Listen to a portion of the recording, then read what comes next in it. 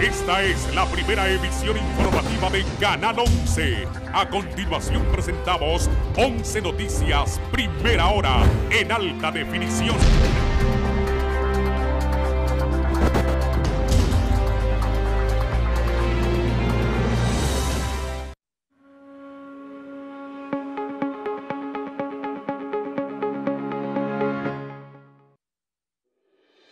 Vea esta mañana en 11 Noticias.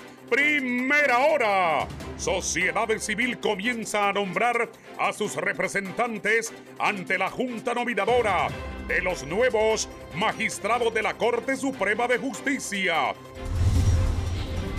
Entra en vigencia amnistía que beneficiará a cientos de migrantes de distintos países que transitan por Honduras.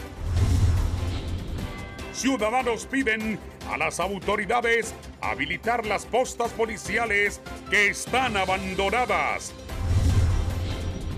¿Suben o bajan los precios de primera necesidad? Le contaremos en directo desde los principales mercados de Tegucigalpa y San Pedro Sula. Estas y otras informaciones a continuación en 11 Noticias, primera hora.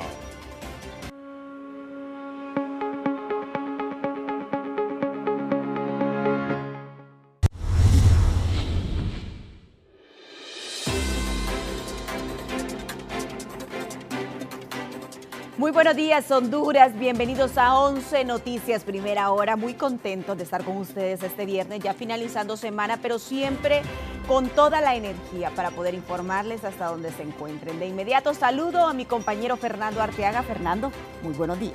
Buenos días, Ivette. Buenos días también a los televidentes de 11 Noticias Primera Hora. Gracias por estar con nosotros esta mañana de hoy, viernes 5 de agosto del año 2022. Estamos listos y preparados para llevar las noticias más importantes hasta sus hogares. Iniciamos con las portadas de los principales diarios del país.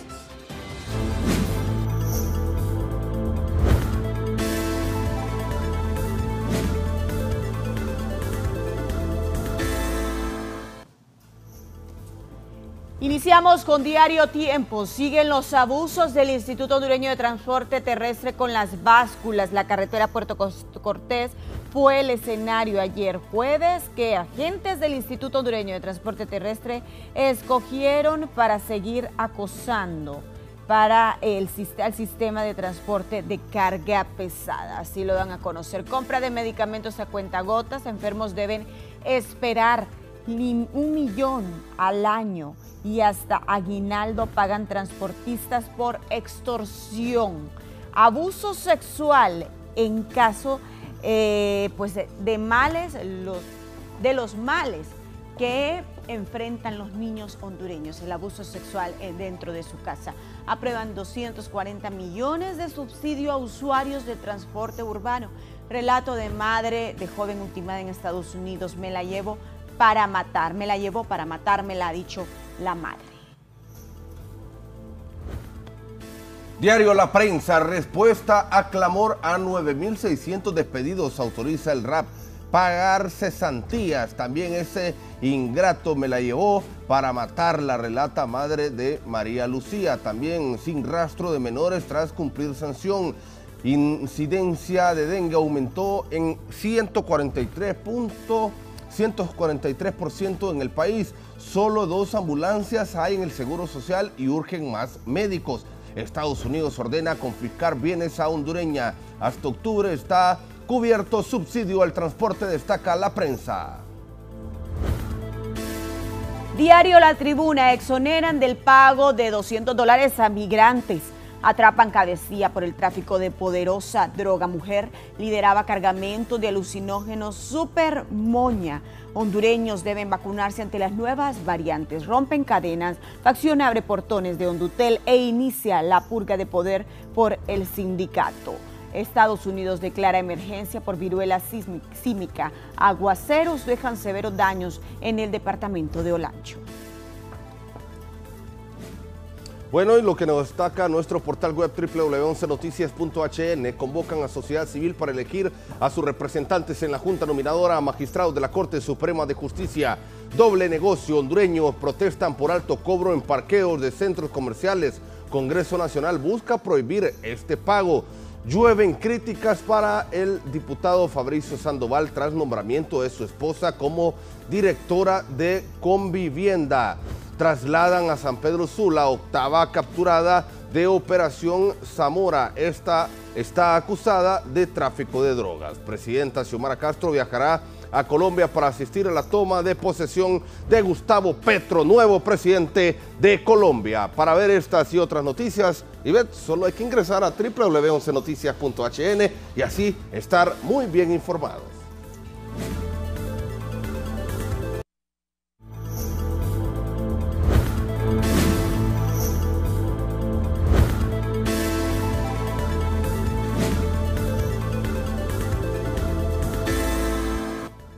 De inmediato le damos a conocer un resumen de la zona sur del país con nuestra compañera Cristina Costa. Al Hospital General del Sur en las últimas horas ingresó una menor de 10 años de edad procedente de la aldea de Santa Teresa en el municipio del Triunfo, quien presentaba una herida por arma de fuego. Hasta el momento sus familiares han mencionado que fue a causa de una bala perdida. Sin embargo, las autoridades de la DPI realizan las investigaciones a este caso. Asimismo, a la altura del desvío de las hormigas, calle que conduce hacia el municipio antes mencionado, ocurrió un accidente tipo despiste donde un ciudadano que respondía al nombre de Kevin Rodríguez resultó gravemente herido. Este fue trasladado al Hospital General del Sur para recibir la atención médica correspondiente. La condición de ambos pacientes hasta el momento es estable, informaron las autoridades del centro asistencial. Desde Choluteca para Once Noticias, Cristina Costa. Gracias Cristina. Anabel y también nos trae un informe desde Ciguatepeque. Nuevamente la violencia asoma en Cihuatepeque al reportarse casi de forma simultánea el levantamiento de dos hondureños, quienes perdieron la vida de forma violenta. El primero es un hombre que hasta los momentos no ha sido identificado, quien según testigos del lugar departía en un reconocido comedor en el kilómetro 120 en la CA5, cuando repentinamente varios sujetos salieron de un vehículo llegando hasta donde él se encontraba. Le dispararon en reiteradas ocasiones asegurándose de que ya se encontraba sin vida. Agentes policiales y médicos forenses llegaron al lugar para realizar el respectivo levantamiento. Minutos más tarde se reportaba el hallazgo de una fémina quien había desaparecido desde el pasado martes y fue encontrada sin vida en la comunidad de Aguas del Padre. Este tipo de eventualidades tienen consternada a la población, quienes exigen seguridad ante tanto hecho violento. Así es, eh, Anabeli, la verdad que lamentamos esta situación que está viendo en Subatepe, que viene una persona más eh, pues que ha fallecido, que ha sido asesinada en este sector de Buenas Casas. Lamentamos esto, es negativo, pero la gente tiene que saber, la gente tiene que darse cuenta eh, de una u otra forma que eh, esto es negativo para la ciudad, estos tipos de asesinatos acá en este sector de la ciudad de Cihuatepeque. Desde Cihuatepeque, para 11 Noticias, Anabeli Tejeda. Nuestra compañera Chile Martínez nos da a conocer que al menos 224 personas se han reportado como desaparecidos durante este año 2022.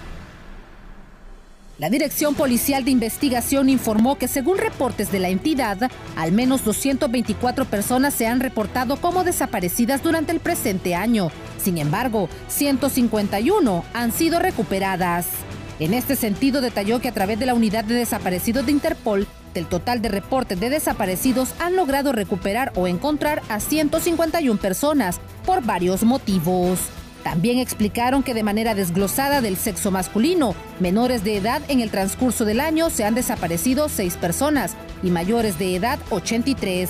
Las autoridades también señalaron que las menores de edad que desaparecen entre las edades de 11 a 17 años son fácilmente engañadas en situaciones sentimentales. Entre las principales causas se destacan cuando las personas deciden migrar del país, trasladadas por coyotes o por supuestas agencias de modelaje. Por lo anterior, el llamado es a los padres de familia y a la población en general de no dejarse engañar por falsas promesas, principalmente laborales. También las autoridades advierten que en todos los casos, desde el momento del reporte, se realiza una investigación, por lo tanto, se desarrollan chequeos y diligencias del caso. Para 11 Noticias, Shirley Martínez. Gracias Shirley, con esto vamos a una pausa comercial, pero antes les recordamos también a la población hondureña que nos pueden escuchar a través de Radio Visión Honduras. Así es, en nuestras frecuencias a nivel nacional, 90.1 en Tegucigalpa, 90.9 en San Pedro Sula, 93.5 en la zona central del país, 105.5 en el litoral atlántico y 90.3 en Choluteca. Ya regresamos.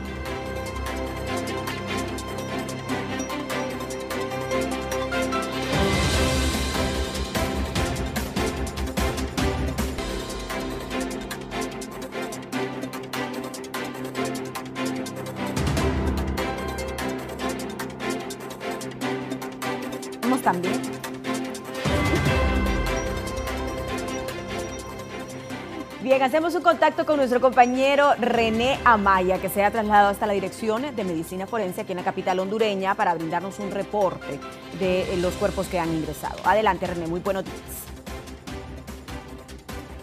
Buenos días, Ivette. Buenos días a los televidentes a nivel nacional.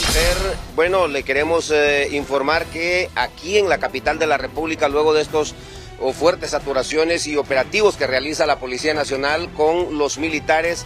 La situación ha cambiado en los últimos días, no se registran hechos violentos y, u otros hechos que lamentar. Están haciendo un enorme trabajo las autoridades de seguridad de nuestro país para poder controlar esta ola de criminalidad que ha venido estremeciendo a la población hondureña, específicamente aquí en la capital de la República.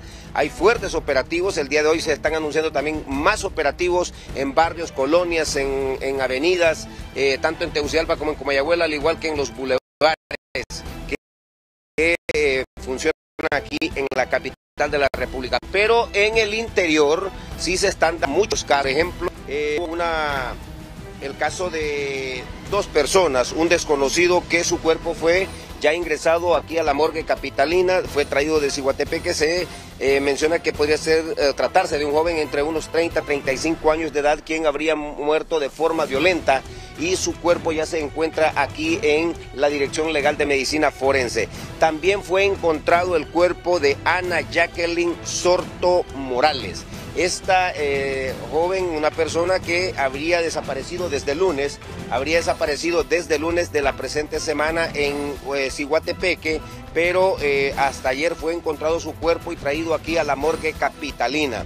Eh, pues murió de forma violenta. Cuando ella desapareció fue encontrado el cuerpo también de Cristian Omar Flores Santos, quien acompañaba a esta empresaria en Cihuatepeque y hasta ayer, fue hasta ayer que su, cuerpo o su cuerpo fue traído aquí al Centro de Medicina Legal y Ciencia Forense para la respectiva autopsia a la espera de que lleguen los familiares a reclamar este eh, cuerpo de Ana Jacqueline Sorto Morales, una empresaria que habría desaparecido en Ciguatepeque y que hasta ayer fue traída, eh, fue encontrado su cuerpo y traído aquí a la morgue capitalina. En ese, repetimos, en ese momento cuando ella desaparece, era acompañada por Cristian Omar Flores Santos. Él sí fue encontrado de inmediato ahí, eh, muerto de forma violenta en este sector de nuestro país. A la espera entonces de que los familiares puedan hacer el, o venir a reclamar el cuerpo de esta empresaria que falleció de forma violenta. Pero del Hospital Escuela Universitario también fue traído el cuerpo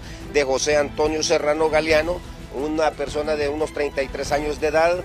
Eh, él falleció ahí, venía padeciendo, tenemos entendido, de una enfermedad, pero sus familiares, como son de escasos recursos, pues han solicitado que lo mantengan en depósito aquí en la morgue capitalina, porque aquí hay cuarto frío, no así en, el hospital escuela, y su cuerpo fue trasladado aquí a la morgue capitalina a la espera de que los familiares de José Antonio Serrano Galeano, de unos 33 años de edad, pues puedan hacer los trámites respectivos, conseguir el dinero para darle cristiana sepultura.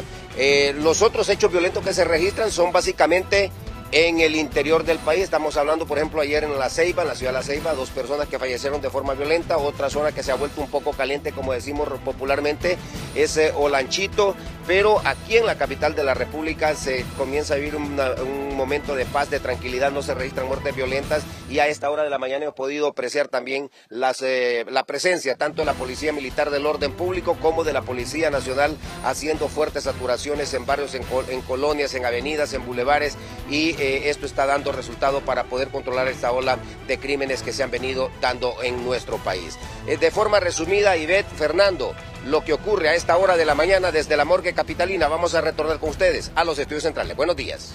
Buenos días, gracias René Amaya por esta información desde la morgue capitalina. En unos instantes estaremos nuevamente con usted. Continuamos, Fernando, con más noticias. Y les damos a conocer que en la zona sur del país colectivos de libres se han iniciado a tomar también eh, eh, diferentes sectores y precisamente inician con invasiones de tierra allá en el sur del país. Nos cuesta Cristina Acosta. Colectivos de Libre en la ciudad de Choluteca han invadido terrenos en la periferia de la ciudad y solicitan a las autoridades les puedan otorgar alrededor de 70 manzanas para poder construirle viviendas a unas mil familias. Bueno, queremos ubicar mil familias. Yo creo que arriba de 70 manzanas, ¿verdad? 70, 80 manzanas. Terrenos ociosos, ¿verdad? Entonces, lo que nosotros pedimos, por favor, a las personas que están involucradas, empleados del Instituto Nacional Agrario, del IP, de la Alcaldía Municipal, pónganse la mano en la conciencia, hombre, ¿cómo es que realmente los políticos de turno le ofrecen un cambio a la gente cuando el cambio realmente no llega? El cambio llega cuando una persona tiene una propiedad, llega a una propiedad que no sea robada, ¿verdad? Que no sea expropiada, va a ser pagada, financiada en su momento, o sea con el Estado, o sea por medio de un banco notificado, ¿me entiende? Entonces al final tenemos que entender, señores, que esto es una necesidad, este es un, este es un problema social que yo creo que si no surgimos líderes para que podamos ayudarnos entre nosotros mismos, entonces ¿dónde está realmente el espacio que como líder realmente tenemos que hacer? ¿Qué legado vamos a dejar a las futuras generaciones? Choluteca es un hacinamiento, creciendo, un montón de gente viviendo a la orilla de las calles, eh, en condiciones precarias, habiendo terrenos donde realmente puedan habitarse, pero también tenemos que entender algo. Ya es suficiente que de estar mandando a la gente a la orilla de los ríos, que todos los septiembre, octubre, la gente está copeco sacando a la gente, ubiquémoslos en lugares donde realmente no hayan damnificado. Entonces esto le generamos una solución al Estado. Aún se desconoce el dueño de esta propiedad o si éstas pertenecen al Estado. Desde Choluteca para Once Noticias, Cristina Costa. Bien, nos vamos al vasto departamento de Olancho. Ahí se encuentra nuestro compañero Abner Vázquez. Y es que la Policía Nacional en allanamiento le da captura a una persona por tenencia ilegal de arma de fuego. Esto en Santa María del Real. Adelante y muy buenos días, Abner Vázquez. Buenos días, muchas gracias compañeros en el estudio. La Policía Nacional durante estas últimas 24 horas le da la captura a una persona por suponerlo responsable por tenencia ilegal de arma de fuego. Pero escuchemos lo que dice el clase 1 Luis Galeano de la Policía Nacional en esta entrevista. La Policía Nacional a través de sus diferentes direcciones ha realizado diferentes actividades, ¿verdad? En el marco pues para garantizar la seguridad de la población de Catacamas. El día de hoy se realizó un allanamiento de morada en el sector de Santa María del Real, donde se logró la detención ¿verdad? de una persona del sexo masculino de 47 años de edad, originaria de Santa María del Real y residente en el barrio Las Colinas de ese municipio, a quien se le supone responsable del delito de tenencia ilegal de armas de uso prohibido y también de tráfico de droga, a quienes se les decomisó ¿verdad? un arma de fuego tipo subfusil eh, UCI y también la cantidad de 14 bolsas plásticas transparentes conteniendo en su interior supuesta hierba, eh, hierba seca marihuana en el barrio Las Colinas del municipio de Santa María del Real. Eh, gracias, ¿verdad? Eh, eh, esto la información que se obtiene de, la creación de las mesas de seguridad ciudadana, también gracias, ¿verdad?, a la, buena información que los ciudadanos del sector nos brindan y también al trabajo que la Dirección Policial de Investigaciones está realizando en esta ciudad de Catacamas, donde el seguimiento y vigilancia que se le hace a estas personas es muy bueno por parte de la dirección y, y así pues logramos con las capturas de esas personas.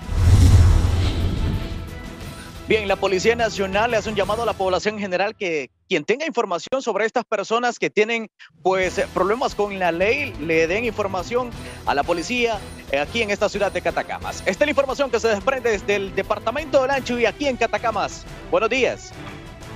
Buenos días, Abner Vázquez. Gracias por esta información. Eh, hasta Catacamas, Blancho. Vamos a darles a conocer que la titular de la Secretaría de Agricultura y Ganadería ha tenido una importante reunión con la embajadora de los Estados Unidos, Laura Dogu. Escuchemos eh, cuáles fueron estos temas importantes que se trataron en dicha reunión. Eh, sí, el día de hoy pues tuvimos la grata visita de la señora embajadora de Estados Unidos y con visita, pues, un acercamiento tremendo sobre la temática del sector agroalimentario de Honduras y su relación con Estados Unidos. ¿De qué trató esta, esta visita, ministra, hablar sobre temas bilaterales?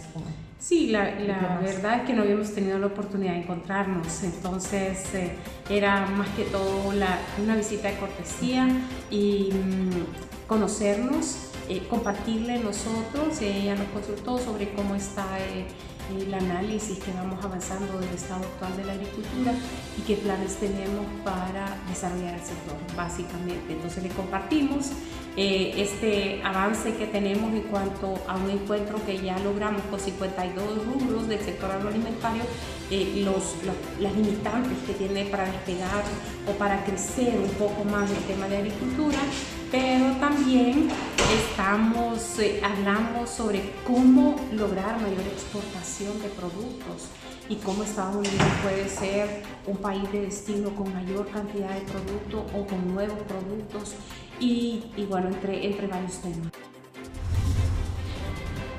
Vamos a darles a conocer que analistas de la zona norte del país consideran que, hay, que tiene que existir un mensaje de unidad para evitar conflictos en el camino a la elección de los nuevos magistrados de la Corte Suprema de Justicia. Luego que el propio presidente del hemiciclo legislativo, Luis Redondo, ha revelado algunas controversias en torno a la Junta Nominadora y personajes públicos con supuestos intereses oscuros para colocar representantes de su interés, analistas de la zona norte exigen que se erradiquen estos conflictos y a cambio se envíen mensajes de unidad y concientización por el bien del pueblo hondureño. Enviar mensajes uh, positivos con respecto al proceso que se ha establecido hasta el momento, porque viene una parte clave del mismo, que es la elección de los representantes de cada una de, las organizaciones.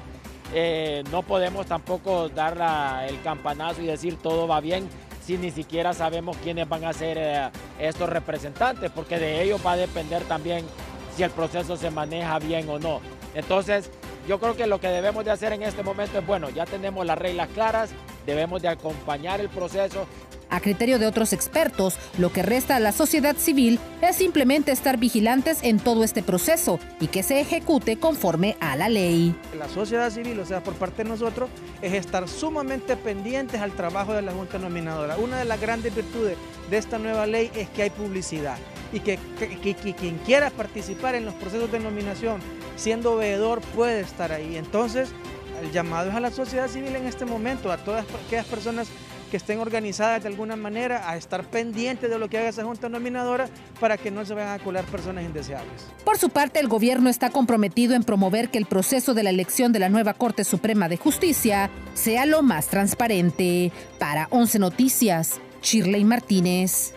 Por temas de bioseguridad, no se dará reforzamiento para la prueba de actitud académica en las instalaciones de la Universidad Autónoma Nacional con sede en Olancho. Nos informa nuestro compañero Roberto Olivera. Roberto, muy buenos días hasta Jutical.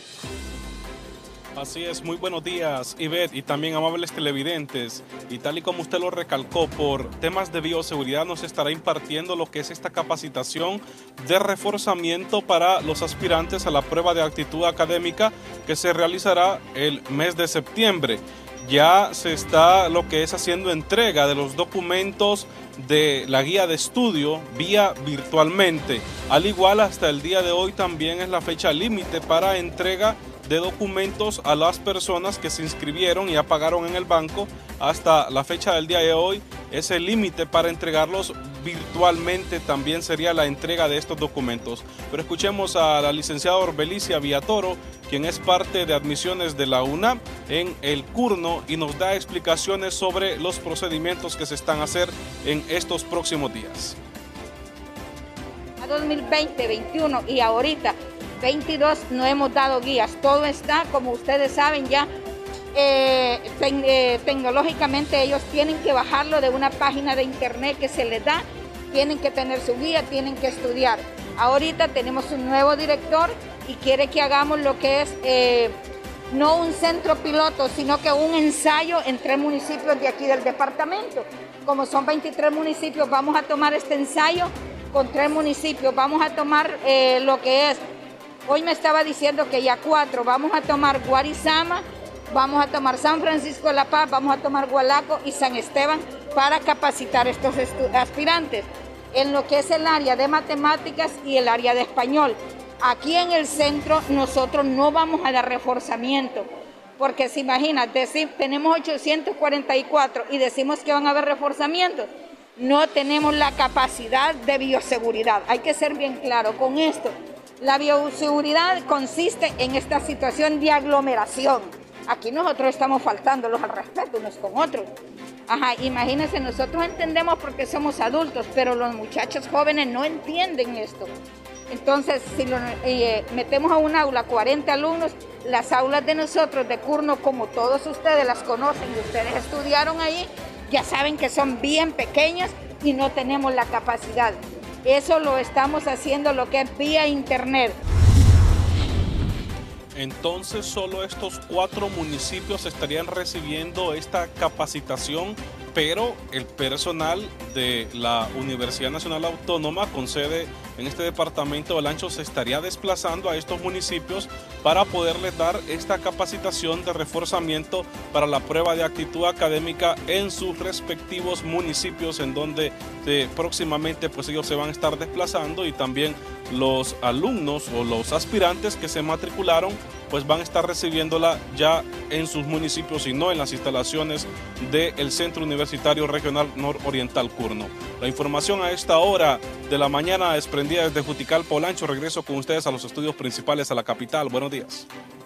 Buen día, gracias a Roberto Olivera por esta información desde Juticalpa, Olancho. Continuamos con más noticias y positivas, sobre todo, Fernando. Bueno, hoy es viernes y ya René Amaya se encuentra en la Feria del Agricultor y el Artesano. Listo, René, hoy viernes. Buenos días, adelante.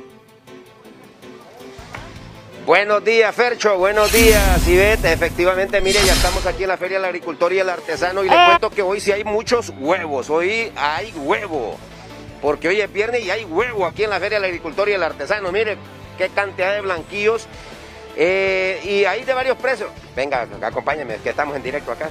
A través de Canal 11, cuénteme, ¿cómo está el precio del cartón de huevo? Bueno, tenemos de 75 el pequeño y tenemos el, el grande a 92 y el mediano a 85. hoy se come con huevo, ¿eh? Así es y, qué tal? ¿Cómo está aceptando la, población el precio? Porque en otro lado está comprando hasta 4 o 5 lempiras. Sí, está más caro en otros lados. Bueno, la pulpería estamos hablando, ¿verdad? Y bueno, en, la otra parte en otro mercado. Así es. Aquí es donde está más barato, a 92. A 92, el grande. El grande, así es. ¿El mediano? 85. ¿Y el pequeño? 70 y... 75. 75. ¿Eso lo tiene por acá? Ya veo que me está engañando. Disculpe, disculpe, disculpe, es cierto. A 78 está el pequeño. Ya. Y a 78, 85 y el 92. Así es. aquí están los precios. Muchas gracias, madre. Aquí están 92, 78, son, fue que se cayó el de, de 85. Pues ahí está el papelito.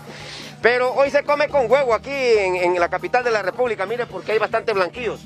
Eh, vamos, mira, mostramos la imagen ahí, porque después vamos a ir a hacer un monitoreo sobre el precio de los lácteos. Eh, queso lanchano, queso del sur, que se, que se trae aquí también a la Feria del Agricultor, y es un riquísimo lácteo. Lo que se produce aquí, vamos, mi amiga siempre nos colabora aquí con los precios, a ver si hubo precio, ha bajado, aumentado. Buenos días, mi amiga, eh, ¿cómo, ¿cómo están los precios? Muy buenos días para todos. Pues los precios se mantienen, sí, aquí se mantienen, tenemos tres semanas, que ahorita pues con los periodos de junio y julio, pues eh, se ha acordado en que la leche hay abundancia, entonces los precios están. Ha habido una buena producción ahorita, ¿verdad? Porque estamos en invierno. Sí, gracias a Dios. Hay abundancia y es por eso que se mantienen así. Pues, pues cuénteme, los precios ahí, vamos a ver. Bueno, tenemos los tres productos básicos, ¿verdad? Que son el semiseco y el frijolero. Eh, a 60 lempiras. Tenemos las mantequillas crema rala a 36 lempiras y el quesillo de puro jugo a 44. Bueno, muchas gracias, le agradezco. Siempre se mantiene. Mire, eh, un riquísimo queso, así es que a todos esos capitalinos, vengan aquí, hombre, apoyemos a nuestros productores porque aquí se come queso fresco, mantequilla fresca y, los distintos lácteos, al igual que huevos, al igual que también vamos por la zona de, las verduras y las frutas. A ver ¿cómo, están las frutas. Comencemos aquí por la fruta porque mire qué linda fruta tiene aquí el amigo para que nos dé los precios. Una rica papaya, limón, banano, hay de todo. Cuénteme, ¿cómo están los precios, amigas? Buenos días. Hola, muy buenos días. Eh, sí, bueno, los precios de la fruta, bueno, la papaya está a 20, hay de 25. Tenemos aguacates de a 20, de a 15 y de a 10. Manzanas a 10 la unidad. Tenemos el banano a, 8 la unidad. Tenemos los limones a 2 lempiras y el plátano hay de 3 precios también. Hay de 5, de 6 y de 7, el más grande. La uva le estoy dando a 65 la libra y la fresa la estamos dando a 65, 60 la libra. Está variada. muchas gracias, le agradezco. Esta es la parte de las frutas. Ahora vámonos a la parte de la verdura, porque mire, Qué riquísima verdura la que es, bueno, fresquito, todo es fresco aquí. Aquí no hay nada congelado como en los supermercados. Aquí todo es fresco. Madre, cuénteme un poquito a cómo están los precios de la, de, la, de verdura. Por ejemplo, el mazo de, de remolacha que la vez pasada estaba bien carísima. ¿Ya bajó? Sigue cara, todavía no ha bajado. Lo, tenemos a 25 el mazo. A 25 el mazo de tres unidades, ¿verdad? De tres unidades grandes. La cabeza de repollo, ¿cómo está? El pollo está a 30 la unidad. El pataste blanquito lo tenemos a 5 por 20. El pepino a 5 lempiras. Zanahoria está a 8 lempiras. Tenemos la yuca a 8. Tenemos la papa también a 15 lempiras. Eh, cebolla blanca a 20 lempiras y cebolla roja a 25 lempiras. La, lechuga, el brócoli, el, bueno, el resto que tiene eh, la lechuga la tenemos a 15 lempiras, el brócoli igual, a, 20 lempiras está el brócoli. Tenemos cebollina a 10, tenemos rábano a 5 la unidad. Tenemos elote a 5 la unidad y la bandeja a 25. El ayote entero le vale 40 lempiras y por pedazos le vale... ¿La papa que había estado cara? Eh, fíjese que la papa estuvo cara, descendió un poco hace dos semanas, pero ya volvió a subir otra vez. ¿Cómo está la libra ahorita? Ahorita por mayor la estamos, eh, se está cotizando a 1150, sí. El quintal de 100 libras. De 100 libras a 1150. Estamos hablando a 11.50 la libra y ustedes venden a como a 13. Eh, a, 15, a 14, porque estos quintales de papa, la verdad, no traen 100 libras. Traen 95. más, usted sabe, la papa aquí se vende seleccionada. Tenemos que seleccionar buen producto para el consumidor. Muchas gracias, le agradezco, oye. Muchas gracias. Bueno, mire, Fer, eh, estos son los precios. Así es que hoy que es fin de semana, a venir a comprar aquí en la Feria del Agricultor y el Artesano, va a llevar un producto fresco, un producto de calidad eh, usted mire aquí la calidad de productos que se vende aquí en la Feria del Agricultor y a la espera de que los capitalinos pues sigan viniendo apoyando a todos estos productores y así eh, no tener productos congelados y carísimos sino que producto fresco y certificado, porque son buenos productos. Mire que ese semejante aguacate lo que tienen aquí, eh, la licha, el melón, sandía que tiene aquí el amigo, son buenos productos. Hay que venir aquí a la Feria del Agricultor y el Artesano. Vamos a retornar porque en unos segundos estaremos desde la parte donde se encuentran las carnes, también el pollo, al igual que el mondongo. También estaremos dando los precios del pescado. Nos vamos a trasladar hasta aquel sector, compañeros. Retomamos con ustedes. Adelante. Gracias René, gracias por este informe. vamos a estar con usted entonces nuevamente en la Feria del Agricultor y el Artesano. Seguimos, Ivette. Así es, pero de inmediato nos trasladamos también al mercado Dandy de San Pedro Sula para conocer cuáles son los precios de los principales productos en esta zona. Adelante, Gerlin, con usted.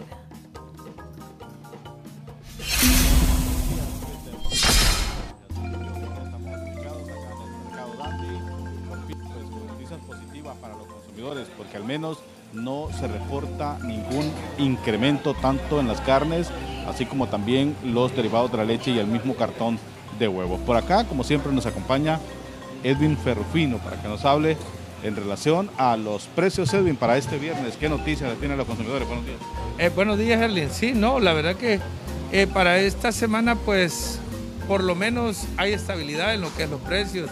Eh, no hay aumentos, mantenemos el precio de que teníamos la semana pasada, de 80 lempiras, lo que es el tajo corriente y 85 el especial, 58 lempiras la costilla de res. Eh, la carne molida económica a 40 lempiras y a 85 la especial. Eh, lo que es el hígado está a 38 lempiras, el mondongo está a 40 lempiras, la chuleta ahumada está a 75. Bueno, y por lo menos tenemos estabilidad en los precios esta semana. ¿Cuánto al cartón de huevos, Edwin? ¿Ha bajado o se sigue manteniendo en 105 lempiras? Eh, bueno, todavía, todavía para estos días, creo que para la otra semana ya viene una rebaja. Eso me dijo el proveedor. Yo había comprado huevo bastante y todavía esta semana lo tenemos a 105, pero creo que para la otra semana viene una rebaja de 5 lempiras. ¿Es justo? Es justo y necesario porque acuérdese que todo el mundo se aprovecharon que por el combustible le habían subido y ahora bajó el combustible y todavía siguen con los precios altos. En cuanto a los lácteos, ¿en qué precios se manejan? Mire, lo, que es el lácteo ahorita está a 50 el semiseco, eh, el crema está a 40, el queso con chile a 40, eh, la mantequilla industrial a 18, la especial a 27 y la pura está a 45 lo que es el quesillo, hay quesillo económico desde 35, hay quesillo de 40, hay quesillo de 45 y hasta 50 lempiras. ¿Qué tal va el mes de agosto de las ventas aquí en el mercado? Lo que es el mes de agosto, septiembre son meses de baja, eh, bajas compras. Eh, las personas poco vienen al mercado, pero siempre siempre estamos aquí pendientes y la verdad que no nos desampara Dios y hacemos la fuerza siempre. ¿Qué tal es la asistencia de la población aquí al mercado? Baja, es bien bajo. O sea, como le digo, estos dos meses son los dos meses más crueles para nosotros los comerciantes. Muchas gracias, Edwin Ferrofino, locatario del mercado Ande aquí en San Pedro Sula. Como ustedes pueden observar, aquí hay pues eh, productos frescos, aquí están para las amas de casa, la costilla, el hueso, el mondongo, para esas sopas costeras que solo saben eh, pues prepararse aquí en la zona norte del país para que pues se vengan aquí a los mercados y aprovechen que no hay incrementos. Por fin, esta semana no hay incrementos en ninguna carne, ni en los lácteos, ni tampoco en el cartón de huevos, más bien se avecinan rebajas, que sería lo justo porque han bajado lo que son los productos derivados del petróleo. Con estas imágenes de mi compañero David Velázquez voy a volver con ustedes a los estudios en Tegucigalpa. Buenos días. Muy buenos días, gracias a nuestro compañero Kerlin Díaz que nos ha brindado pues, eh, los precios de los principales productos eh, de la canasta familiar en eh, San Pedro Sula, precisamente en el mercado Dandy de San Pedro Sula. Fernando, pero es momento de hacer una pausa comercial. Ya volvemos en 11 Noticias Primera Hora.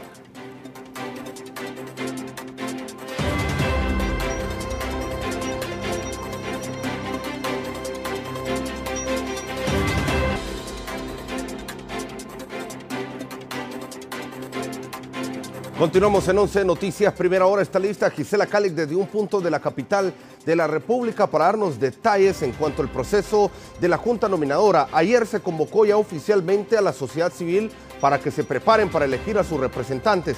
Y desde el CONADE ya se confirmó a la abogada Blanca Izaguirre y también a un suplente. ¿Cuáles son las expectativas? Gisela Cáliz, buenos días.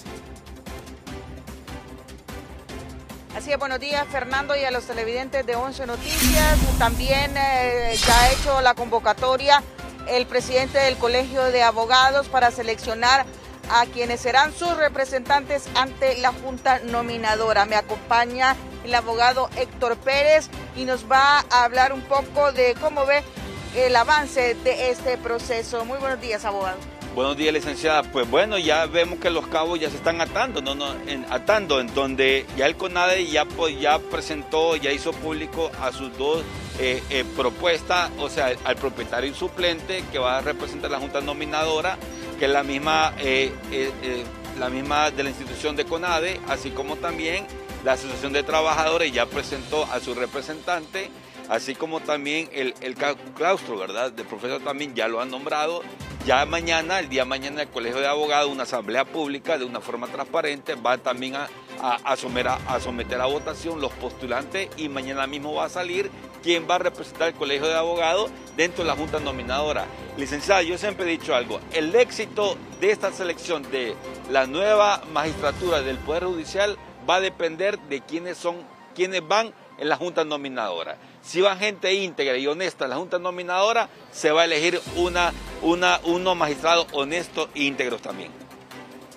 Han, habido cuestionamientos de ciertos sectores que debería ser directamente el Congreso Nacional que nombre eh, los magistrados y no la Junta Nominadora.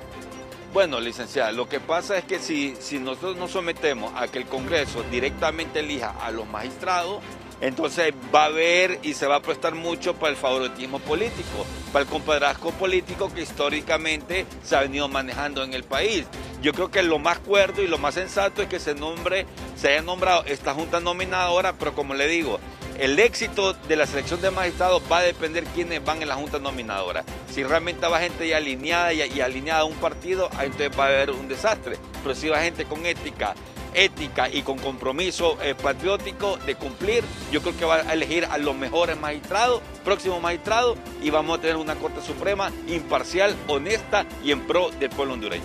muchas gracias. Escuchaban al abogado Héctor Pérez, quien se refería a este proceso de nombramiento de las personas que conformarán la junta nominadora que seleccionará a 45 candidatos de donde saldrán los próximos 15 magistrados de la Corte Suprema de Justicia, mientras que ayer el rector de la Universidad Nacional Autónoma, Francisco Herrera, dijo que en dos semanas estaría convocando al claustro de profesores para que nombren a sus dos representantes. Este, esta organización del claustro de profesores está conformada por las facultades de Derecho de las distintas universidades del país. Con este informe yo vuelvo con ustedes al Estudio Central. Buenos días. Buenos días, Gisela. Gracias por este importante informe. Tenemos expectativas del sector económico, de la economía del país, con el reconocido empresario Eliseo Castro. Escuchemos. Las expectativas económicas para el resto del año dependerán del optimismo con que nosotros mismos como hondureños logremos plantear frente a lo que se refiere a una economía bastante decaída, una mm, sociedad con mucho desempleo y un país con, poca, mm, con poco apetito internacional en cuanto a la inversión extranjera.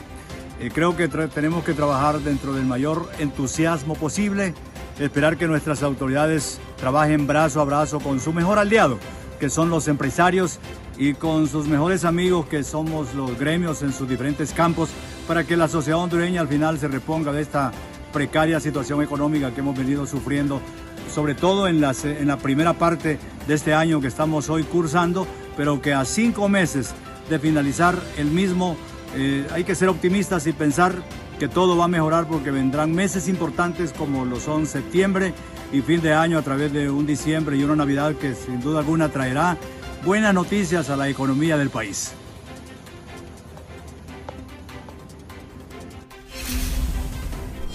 En temas económicos siempre volvemos hasta la Feria del Agricultor y el Artesano con René Amaya. Adelante René nuevamente.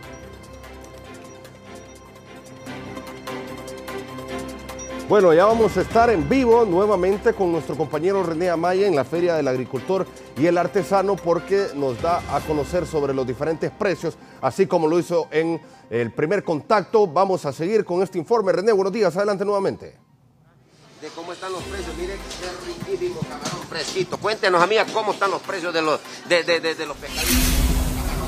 Pues hoy está barato, hoy tenemos baratito el camarón, tenemos de 70 tenemos de 90, de 100. Aquí este, mira, ya limpito. Le vale 120. Aquí tenemos de 120 también con cabecita. 140. Ya limpito, 140. Y tenemos dos de 180 que están... Pues el pescado está barato. El pescado tenemos a 70, 50 la tilapia. El filete a 150. Tenemos barato a 100 y a 30 lempiras la libra. La libra de, la, libra de filete. Todo es en libra. Todo es en libra. el camaroncito este dice usted ya está listo solo para prepararlo, ¿verdad? 120 barato. Solo para prepararlo, ponerle limoncito, ponerle la cebollita ahí, tiene un buen cóctel. Tiene un buen cóctel para eso. ¿eh? Bueno, que hoy es viernes. Hoy es viernes. El cuerpo lo sabe, dice. Muchas gracias, amiga. Bueno, nos vamos a trasladar también aquí a la zona donde venden los, eh, la, bueno, la zona de carne, porque también está la parte donde venden mondongo, donde venden el resto de, de, de- de- de la res, pero nos vamos a trasladar hasta la zona de las carnes porque queremos presentarle una especie de monitoreo del precio de la carne de res, de la carne de cerdo. Eh, y también carne fresca, miren, toda esta parte muy limpio, muy aseado, muy higiénico y la cantidad eh, de precios, eh, bueno, aquí hay variedad de precios. Buenos días, mi amigazo. ¿Qué tal? Eh, ¿Hubo aumento, no hubo aumento? ¿Se mantienen? Cuéntenos un poco. No, se mantienen los precios, se mantienen los precios y otro detalle, está entrando una calidad mucho mejor que la que entraba hace como dos meses, ¿verdad? Porque el ganado está más gordito ahora, ¿verdad? Eh, Estamos en invierno. eh, digámoslo, no tan gorditos, mejor cuidado. Mejor cuidado. Mejor cuidado. Eh, ya, ¿a, a cómo están los precios? Cuéntenos. Eh, la carne de res la encuentra a 76 la libra, lo que son los cortes tradicionales, azar, bistec, molida. Eh, la costilla de res la encuentra a 64 lempiras. El chorizo criollo la encuentra a 55, 60 lempiras. Eh, la carne salada la encuentra a 85 lempiras, que es para la sopa tapado. El cerdo se mantiene a 56 lempiras, eh, tanto la eh, chuleta, tajo, como le digo, los cortes tradicionales, ¿verdad? Sí, es decir, se mantiene. Y, y- y la feria del agricultor igual. Igual. Dando Precios especiales a los clientes. Y correcto, con la misma atención, la misma seguridad. Eh, nuestras medidas de seguridad a lo máximo que se puede, porque es una situación que no podemos olvidar. Y que aquí está, aquí está la salud de por medio de, de- de los capitalinos. Correcto. Higiénico. Correcto. bien, eh, limpio. Limpio, tratando de, como le digo, al cliente ya lo conoce, ya es una visita en- dentro del casco histórico de Tegucigalpa. Entonces, eh, como le digo, es suficiente producto. Ahorita el, el capitalino puede venir tanto hoy y mañana, de 6 de la mañana a 7 de la noche. Yo le agradezco, oye. Muchas gracias. Un gusto, Gracias, Tony. Bueno, va- vamos a, eh, mostramos otras imágenes acá. Mire eh, la cantidad de cortes especiales que eh, privan en este sector de la capital de la República, específicamente en la Feria del Agricultor y el Artesano. Con estas imágenes vamos a retornar con ustedes, compañeros. Adelante. Sa- Gracias a nuestro compañero René Amaya, quien se, se encuentra en esta mañana en la Feria del Agricultor, el artesano. Nos daba a conocer en primera instancia sobre los precios de los mariscos y también de las carnes en la Feria del Agricultor y el artesano. Bueno, y en otros temas, también eh, de suma importancia, el tema de migración irregular, pues eh, eh, el Instituto Nacional de Migración dio a conocer que el decreto 2022 que concede amnistía a los migrantes en tránsito por Honduras ya fue publicado finalmente en el diario oficial La Gaceta. Nuestro compañero Darío Bonía nos brinda mayor información dialogando esta mañana con Wilfredo Méndez, quien es el exdirector de CIPRODE. Adelante Darío muy buenos días. Buenos días, Ivede, a todos los que están informándose con 11 Noticias Primera Hora. Así como ustedes lo mencionan, ha entrado en vigencia ya, una vez publicado en el diario oficial La Gaceta, esta amnistía migratoria que el gobierno ha otorgado a través del Instituto Nacional de Migración, lo cual estaría beneficiando a miles de extranjeros que permanecen de manera irregular en el territorio nacional. Para abordar la temática, como ustedes lo mencionan también, me acompaña eh, Wilfredo Méndez, él es defensor de los derechos humanos y analista migrante también. Don Wilfredo, es un beneficio realmente lo que está otorgando el gobierno de la República. Bueno, no hay duda que hay que celebrar eh, que se haya aprobado esta amnistía eh, por tres meses, lo cual me parece que debe de reconsiderarse y estudiarse nuevamente porque no debería de existir este tipo de, eh, de impuesto prácticamente que se le solicita a un migrante. No debe de existir ninguna solicitud de pago y debe del país más bien facilitar que las personas que van en tránsito por Honduras, facilitarle el salvoconducto para que tenga la posibilidad de transitar en su ruta migratoria, puesto que Honduras, cuando aboga en espacios internacionales, pide a Guatemala, pide a México, pide a Estados Unidos que se les trate muy bien a los hondureños. Pero pedir en Honduras casi 6 mil empiras para darles ese salvoconducto a aquellas personas que entraron en forma irregular al país me parece completamente inhumano. Así es que llamaría al Congreso de la República, primero aplaudir este hecho, llamaría al Congreso de la República para que se elimine esa tasa que está impuesta en la ley de migración y se le permita a aquellas personas que eh, entran al territorio nacional las facilidades del tránsito por el país. Imagínense que en este año más bien se le aumentó a esa, a, esa imposición eh, para que las personas pagaran hasta casi 6 mil empiras. Por tres meses, 90 días exactamente, estaría pues vigente este, esta amnistía migratoria, lo cual permitiría que ya estas personas que se mantienen irregularmente no paguen la multa que se les habría impuesto y puedan transitar eh, con su destino, que generalmente es hacia México o Estados Unidos. En los últimos eh, tres a cinco meses son miles de personas las que han estado en esta condición en el país y hay una alerta en el departamento de El Paraíso específicamente. El Paraíso y Choluteca, ¿verdad? Hay que recordar que son alrededor en este año casi 50 mil personas que han ingresado al país en forma irregular.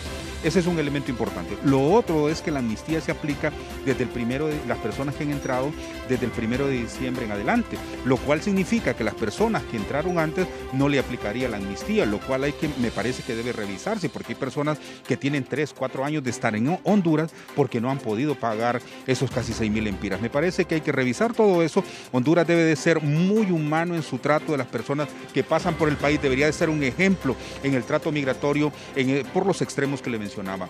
La mayoría de estos eh, migrantes que transitan por Honduras son de las nacionalidades venezolanos, cubanos, haitianos, nicaragüenses, entre otras nacionalidades, africanos también. Eh, para cerrar, don Wilfredo, Recientemente también se ha anunciado la creación de un nuevo centro de atención al migrante, lo que mencionaba usted, eh, en contraste a las solicitudes que hace Honduras a los otros países también de que se les atienda de una manera digna a los migrantes hondureños. Correcto, yo en, el, sur del país y en el norte del país existen centros de atención al migrante que son bastante saludables para la atención a estos mismos, incluso con personas eh, para traducción en su idioma porque vienen de distintos países.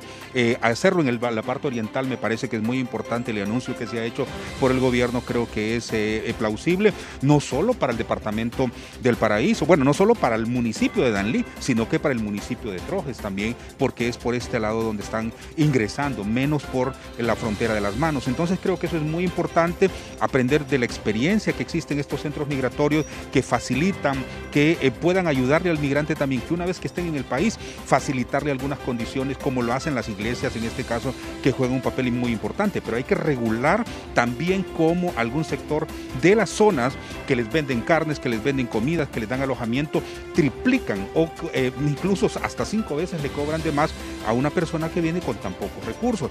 Todo eso tenemos que regularlo porque, como le repito, no solo depende del Estado de Honduras, sino la población que dé un ejemplo también de trato humano a los migrantes. Muchas gracias, Wilfredo Méndez. Él es eh, defensor de los derechos humanos, analista en temas migratorios. Y bueno, con este informe, compañeros, retorno con ustedes al estudio de Once Noticias. Bien, gracias eh, Darío Bonilla por esta información en tema eh, de migración de importancia nacional, donde todos pues, los migrantes podrán transitar por el país de manera gratuita, sin ningún tipo de multas, y esto pues viene también a beneficiar a la población, hermanos que siempre pues buscan este país como tránsito para cumplir con su sueño americano. Continuamos, Fernando, con más noticias. Bueno, y precisamente tenemos eh, noticias muy importantes. Vea usted, el infierno no se compara con la venganza de una mujer traicionada. El éxito turco llega a Honduras y no te lo puedes perder. Gran estreno miércoles 10 de agosto a las 8 pm, solo por Canal 11 noticias por parte de Farmacias del Ahorro, Farmacias del Ahorro y Análisis Clínicos del Ahorro, tus aliados en la salud. Este año seguimos acercando la salud a cada hondureño, llevando medicamentos hasta la puerta de tu casa. Marca el 22764747 o escribe un WhatsApp al 32427433 para comprar tus medicamentos, también hacer consultas y programar tus citas con el laboratorio. Recuerda que contamos con el más amplio surtido de medicamentos y con todas las pruebas del laboratorio de química en general, pruebas COVID-19 para certificadas para viajar y sobre todo con la mejor atención. Farmacia y análisis clínicos del ahorro, precios bajos siempre. Vamos a una pausa comercial. Regresamos en instantes.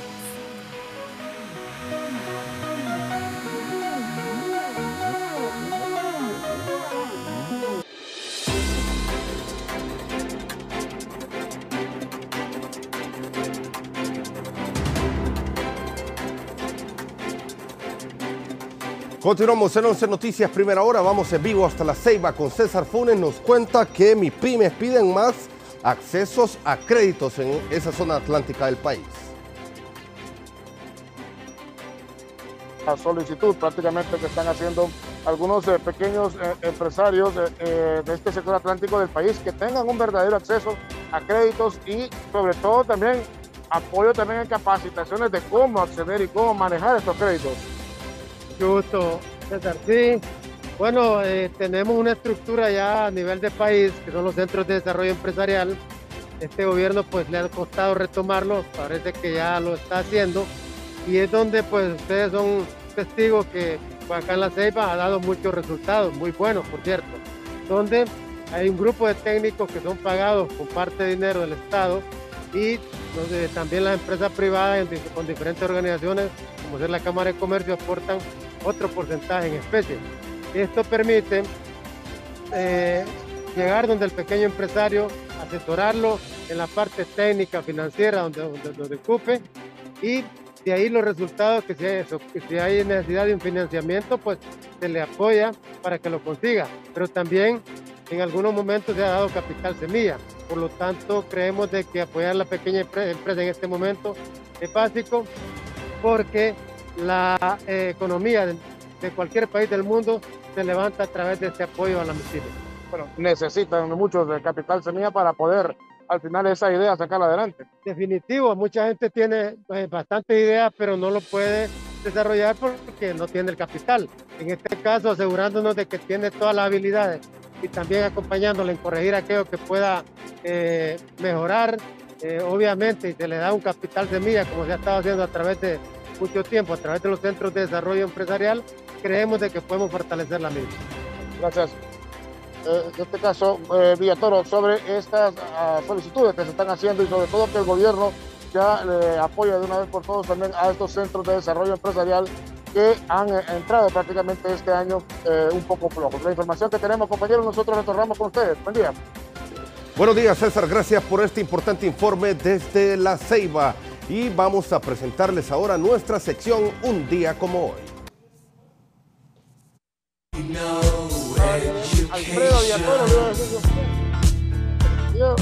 Pocas agrupaciones han sido tan grandes como Pink Floyd. Cambiaron la música y crearon nuevos estilos, además de dar un nuevo significado a la ópera rock, componiendo canciones y discos completos como relato de vida y con letras y música profunda llenas de emoción durante sus casi 57 años de historia.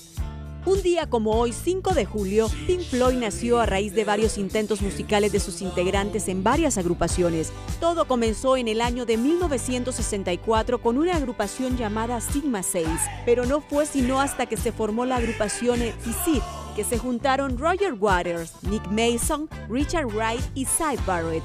Y ese nombre se mantuvo en la banda por mucho tiempo hasta que por el simple hecho de encontrarse con una agrupación más vieja que llevaba el mismo nombre, pasaron a llamarse The Pink Floyd Son.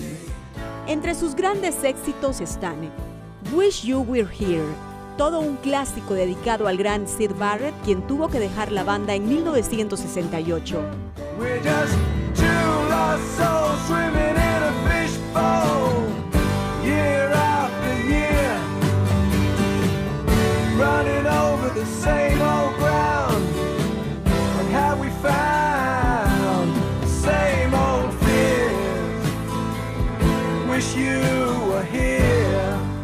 The Great Gift in the Sky. Este tema tuvo antes tres títulos diferentes porque habla sobre la tristeza y la mortalidad.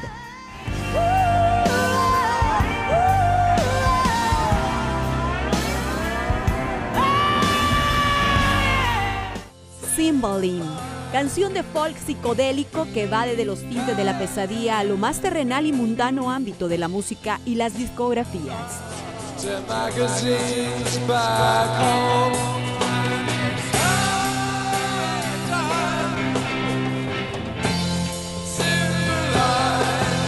Equals, una de las composiciones más completas del grupo. La secuencia instrumental, las improvisaciones y la duración son de 23 minutos.